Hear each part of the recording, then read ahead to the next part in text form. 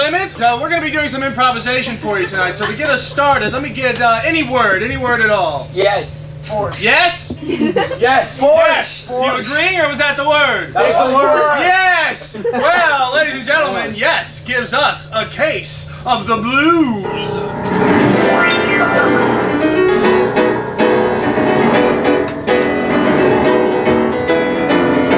Well, sometimes I go out on a date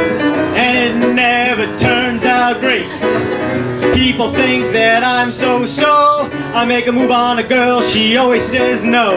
And this is something that I can't understand. The only yes I get is a CD from that 70s band. I got the, I don't have anything. I have nothing. got the low down dirty yes blues. In the game of love, man, I always lose. Well, congratulations on making it this far. well, thanks a lot, Regis. I'm happy to be You know, here. Jack McKay, a lot of people come through those doors expecting to win a million dollars. Now, what makes you think you can take home the loot?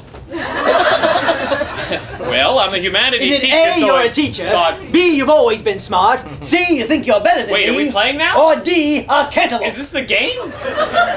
You think you're better than me? No. not All right, then let's get to your first question worth $100. Yes. Well, uh, what's your name, first of all? Scott. Scott. Uh, tell me what happened, please. Went down to Atlantic City with a couple buddies, and um, I met I met this woman who was a little bit older than I was. I didn't realize how much older she was, and uh, I found out later that she was a lot older. um, my friend's parents found out, and um, as a joke, they bought me uh, The Graduate.